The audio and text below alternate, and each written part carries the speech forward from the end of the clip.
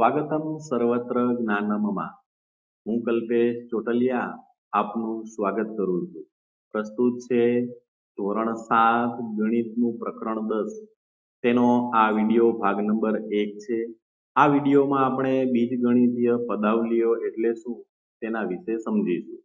તો ચાલો શરૂ કરીએ. વિદ્યાર્થી મિત્રો, આપણે ધોરણ છ ની અંદર આવી બીજગણિતીય અભિવ્યક્તિ આવી ગઈ છે. આ જ અભિવ્યક્તિને આપણે પ્રકરણ દસમાં બીજગણિતીય પદાવલી તરીકે ઓળખતા. અને આપણે ધોરણ સાતમાં, પ્રકરણ ચારમાં સાદા સમીકરણો આવે છે તો એક્સ વત્તા બે બરાબર પાંચ.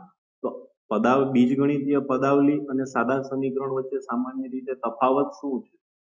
તો એનો સામાન્ય તફાવત એ છે કે સાદા સમીકરણમાં અહીંયા બરાબરનું નિશાન હોય જ્યારે બીજગણિતીય પદાવલી કે આપણે એક બાબતને અભિવ્યક્તિ કહેતા. એમાં અહીંયા ક્યાંય બરાબરની નિશાની નથી આવતી. તો આપણે હવે એક સ્ટેપ બીજું આગળ વધીએ. તમારી નોટબુકમાં આ મુદ્દાને નોંધી લેજો કે અહીંયા મારી પાસે આ બીજગણિતીય પદાવલી છે. તો બીજગણિતીય પદાવલી કોને કહેશું તો? ચલ અને અચલના જોડાણથી બીજગણિતીય પદાવલી રચાય. તો આપણી પાસે અત્યારે અહીં ત્રણ બીજ ગણિતીય પદાવલી છે. તો એમાં પેલું કીધું કે ચલ અને અચલ. ચલ કોણ છે? તો અહીંયા આપણે આ પદાવલીમાં જોઈએ તો ચલ એક્સ છે. અહીંયા તો કઈ ચલ છે એ છે અને અહીંયા ચલ છે એ બી છે. અને બીજો શબ્દ કીધો છે અચલના જોડાણ અચલ કોણ છે? ચાર, પાંચ, દસ, વીસ, પંદર અને પાંચ. અહીં આંકડાઓ જે છે એ તો અચલ તરીકે ઓળખાતા હોય છે. આ બાબત તમે વધારે ધોરણ છ ના વિડીયોમાં તમે સમજેલા છો. તો આપણે અહીં આનું જોડાણ છે એ બીજગણિતીય પદાવલીથી રચાય છે. હવે પદાવલીમાં છે એ સરવાળા, બાદબાકી, ગુણાકાર કે ભાગાકારની ક્રિયાનો ઉપયોગ થતો હોય છે. તો અહીંયા જે પદાવલી છે એમાં તમે જુઓ તો અહીંયા સરવાળાની નિશાની છે બાદબાકીની. અને આ પદાવલીમાં ભાગાકારની નિશાની છે. તો આ બે બાબતને ખાસ નોંધી રાખજો તમારી નોટબુકમાં. હવે એક્સ, વાય, એલ, એમ જેવા અક્ષરોનો ઉપયોગ ચલ દર્શાવવા માટે કરીએ છીએ. આ થોડું પુનરાવર્તન લઈએ છીએ આગળના ધોરણના. અહીંયા આપણે બીજી એબીસીડીમાં ટૂંકમાં લખીએ એ આપણે ચલ તરીકે દર્શાવી શકીશું. ચલ જુદી જુદી કિંમતો ધારણ કરી શકે. કોઈ એક ચલની કિંમત ફિક્સ ન હોય, એક બરાબર પાંચ પણ હોય, એક બરાબર દસ પણ હોય એક્સ બરાબર પંદર પણ હોય એક્સ બરાબર સત્તર પણ હોય. કયા પ્રકારની રકમ છે એના ઉપર એ આધાર રાખે છે? ત્યાર પછી જોઈએ તો ચલની કિંમત ચોક્કસ હોતી નથી. અચલને ચોક્કસ કિંમત હોય છે. ઉદાહરણ તરીકે અહીંયા જોઈએ તો ચાર છે એટલે ચાર રૂપિયા એટલે ચાર રૂપિયા જ થયા. સો રૂપિયા એટલે સો રૂપિયા જ થયા. અને ઋણ સત્તર. તો આ બધા છે એ અચલના ઉદાહરણો છે. આની કિંમત ક્યારેય બદલવાની નથી. એટલે એને અચલ કહેવાય. ચલ એટલે ચાલે. અચલ જેની કિંમત ફિક્સ છે. આગી પાછી થવાની નથી. ત્યાર પછી જોઈએ એક ઉપયોગી બાબત છે એક્સની એક ઘાત. એટલે એક્સ ને એક જ વખત લખવાનું. આ તમારા માટે જેમ ક્રિકેટ રમતા હોય તેમાં નેટ પ્રેક્ટિસ જરૂરી છે. એવી જ રીતે આ પ્રકારના આ સ્વાધ્યાયમાં જ્યારે આપણે આગળ દાખલા ગણશું, સમજીશું, ત્યારે આ નેટ પ્રેક્ટિસ આપણને ત્યાં ખૂબ કામ લાગશે. તો અહીં જોઈએ હવે એક્સ નો વર્ગ. એટલે એક્સ ગુણ્યા એક્સ થાય. ત્યાર પછી છે એક્સ નો ઘન. તો એક્સ ગુણ્યા એક્સ ગુણ્યા એક્સ અહીંયા ખાસ ધ્યાન રાખજો, ત્રણ ગુણ્યા એક્સ નથી કરવાના, પણ એક્સ નો ગુણાકાર ત્રણ વખત છે. ત્યાર પછી જોઈએ તો એક્સની ચાર ઘાત તો એક્સ ગુણ્યા એક્સ ગુણ્યા એક્સ ગુણ્યા એક્સ અને એક્સની પાંચ ઘાત એટલે એક્સ નો ગુણાકાર પાંચ વખત થાય. ત્યાર પછી જોઈએ તો બે ની એક ઘાત એટલે શું થાય? બે ની એક ઘાત એટલે બે. પછી બે ની બે ઘાત એટલે શું? તો બે નો એટલે કે બગડાનો બે વખત ગુણાકાર થાય. બે ગુણ્યા બે બે ગુણ્યા બે એટલે બે દુ ને ચાર. હવે બે ની ત્રણ ઘાત મોટા ભાગના ઘણા બધા વિદ્યાર્થીઓ છે એ આ જગ્યાએ ભૂલ કરે છે.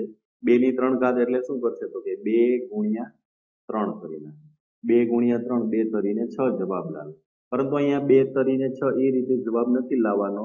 બે ની ત્રણ ઘાત એટલે શું? તો કે બે ગુણ્યા બે ગુણ્યા બે. બે નો ત્રણ વખત ગુણાકાર કરવાનો છે. ત્રણ સાથે ગુણાકાર નહીં. એટલે અહીંયા બે દુ ચાર ને ચાર દુ ને આઠ જવાબ આવે. એ જ રીતે જોઈએ તો બે ની ચાર ઘાત. તો બે દુ ચાર ચાર દુ આઠ અને આઠ દુ ને સોળ જવાબ આવે. ત્યાર પછી જોઈએ તો બે ની પાંચ ઘાત. તો બગડાનો પાંચ વખત ગુણાકાર છે. એક વખત, બે, ત્રણ, ચાર અને પાંચ. બે, દુ, ચાર ચાર, દુ, આઠ આઠ, દુ, સોળ અને સોળ દુ, ને બત્રીસ. ત્યાર પછી જોઈએ તો હવે બીજગણિતીય પદાવલીઓ. તો અહીંયા એક સૂચના આપેલી છે કે ચલ, અચલ અને ગાણિતિક પ્રક્રિયાઓનો ઉપયોગ કરી બીજ ગણિતીય પદાવલીઓ બનાવો. આપણે છે આ પ્રકારની જે રકમ છે, એને લગતા દાખલાઓ આપણે ધોરણ છ માં બનાવેલા. અહીંયા દાખલા નંબર એક એવો આપેલો છે કે વાયમાંથી ઝેડ બાદ કરો. હવે જ્યારે આ પ્રકારની રકમ આવે ત્યારે એને એક વખત, બે વખત, ત્રણ વખત તમને ન સમજાય ત્યાં સુધી વાંચવી જરૂરી છે. એ વાંચીને એમાંથી તમે નક્કી કરો કે એમાં શું આપેલું. તો મોટા ભાગે કોઈ ચલની વિગત આપેલી હશે. આ ઉપરાંત એમાં કોઈ ગાણિતિક ક્રિયાની વાત આપેલી હશે. સરવાળાની હશે, બાદબાકીની, ગુણાકારની અથવા ભાગાકારની. તો એ જે ગાણિતિક ક્રિયા કીધી હોય એ ક્રિયાનો ઉપયોગ કરવાનો હોય છે. આપણે અહીં કીધું છે કે વાયમાંથી ઝેડ બાદ કરો. બાદ કરો. વાયમાંથી ઝેડ ને બાદ કરવાનો છે એટલે અહીંયા નિશાની આવશે બાદ બાકી તો આપણો આ એક જવાબ બની જાય છે. ત્યાર પછી આપણે બીજી રકમ જોઈએ તો એક્સ અને વાયના સરવાળાના અડધા. પેલા તો એક્સ લેવો પડશે આપણે, પછી બીજું કીધું છે વાય એ ચલ આવી ગયો હવે એક્સ અને વાયના સરવાળાની ક્રિયા કીધી છે. તો સરવાળાની ક્રિયા કીધી હોય તો વત્તા મૂકવું પડે.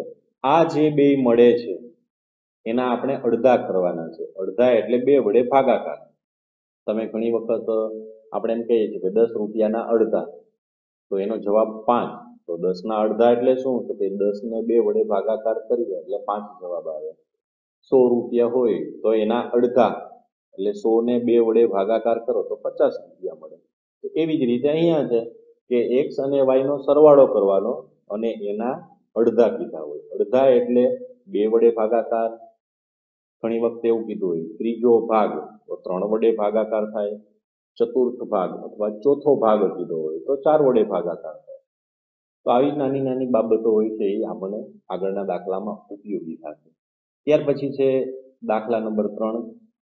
સંખ્યા ઝેડ નો તે જ સંખ્યા સાથેનો ગુણાકાર.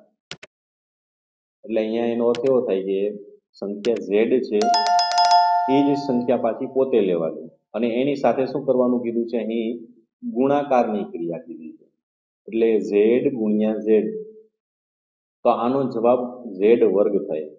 હમણાં આપણે આગળ આ વીડિયો શરૂ કર્યો ત્યારે એમાં પાયાની માહિતી તરીકે આ બાબત આપેલી. તો અહીંયા ઝેડ ગુણ્યા ઝેડ એટલે ઝેડ નો વર્ગ થશે. ત્યાર પછી જોઈએ તો દાખલા નંબર ચોથો પી અને ક્યુના ગુણાકારનો ચતુર્થ ભાગ.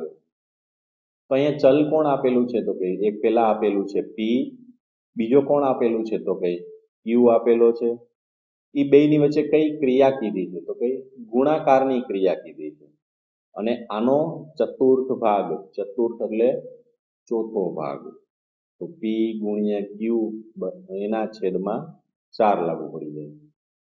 ત્યાર પછી છે પાંચમો દાખલો એક્સ અને વાય બંને સંખ્યાનો વર્ગ અને તેમનો સરવાળો.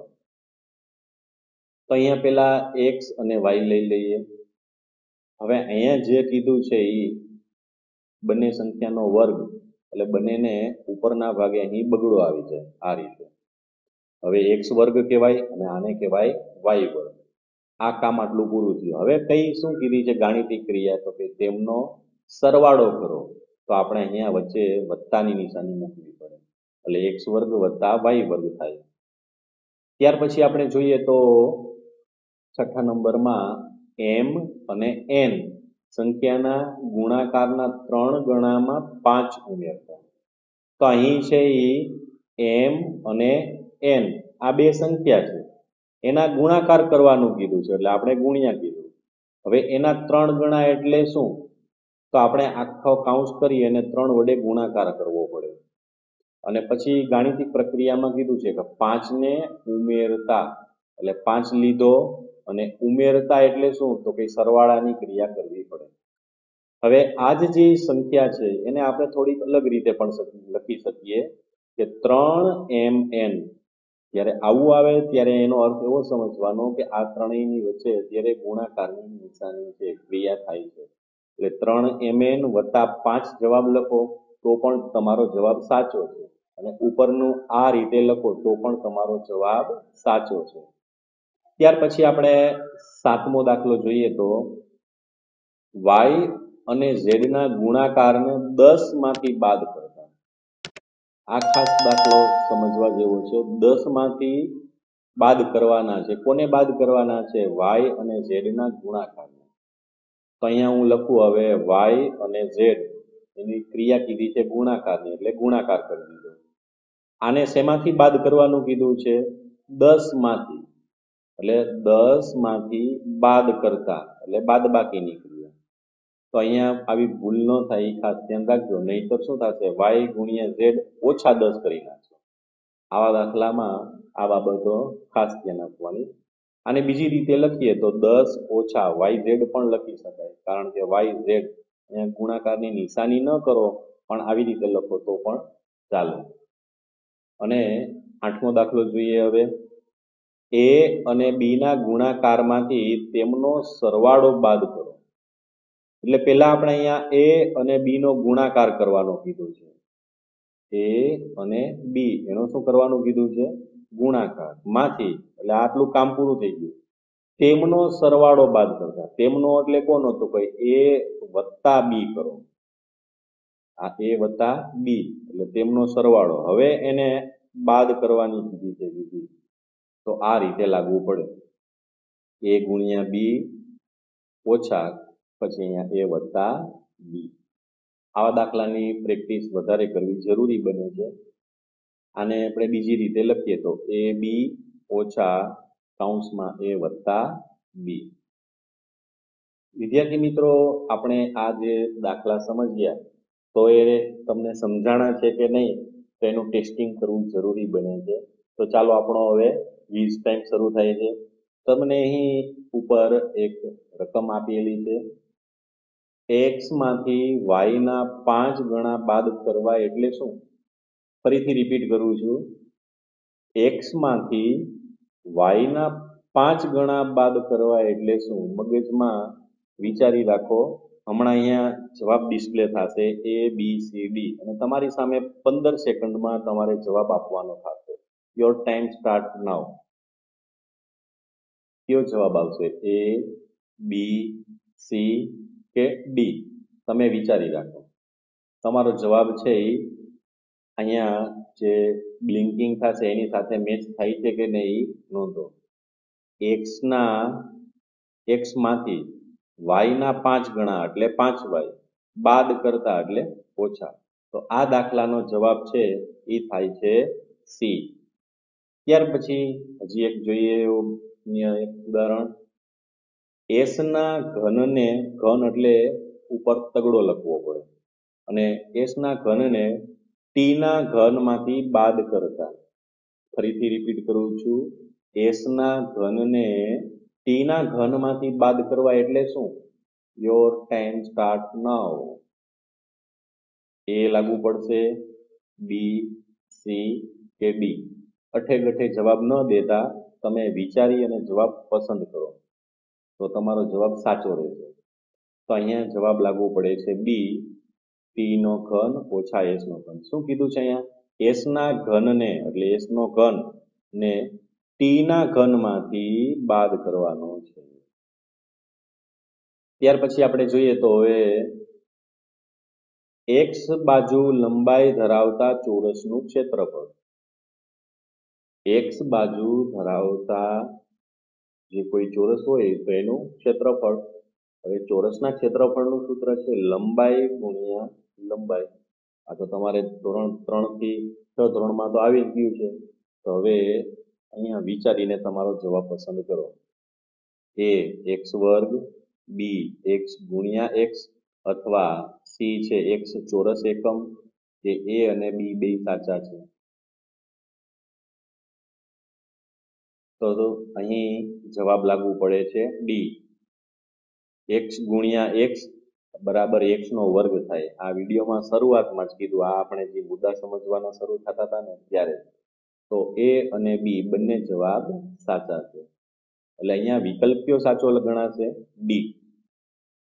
ત્યાર પછીનો પ્રશ્ન છે એક્સ ના વર્ગનો ઝેડ ના ઘન સાથે સરવાળો કરતા એક્સ વર્ગનો ઝેડ ઘન સાથે સરવાળો કરતા એટલે શું? Your time start now A X વર્ગ વત્તા ઝેડ ઘન બી એક્સ વર્ગ ગુણ્યા ઝેડ ઘન સી એક્સ ઘન વત્તા ઝેડ વર્ગ કે ડી લાગુ પડે છે. શું લાગુ પડે છે? તો અહીં જવાબ લાગુ પડે છે એ એક્સ નો વર્ગ એટલે એક્સ વર્ગ ઝેડ નો ઘન એટલે ઝેડની ત્રણ ઘાત, સાથે સરવાળો કરતા એટલે વત્તા. સરસ. જે જે વિદ્યાર્થી મિત્રોના દાખલા સાચા પડતા જાય છે, તેમને ખૂબ ખૂબ અભિનંદન. ચાલો આપણે હજી આવા જ મસાલેદાર પ્રશ્નો આગળ હજી જોઈએ. એ ને બી સાથે ગુણો. દાખલાને મગજમાં વિચારતા જાજો. એ ને બી સાથે ગુણો. બી ને સી સાથે ગુણો. ને સી ને એ સાથે ગુણો તથા તેમનો સરવાળો કરતા.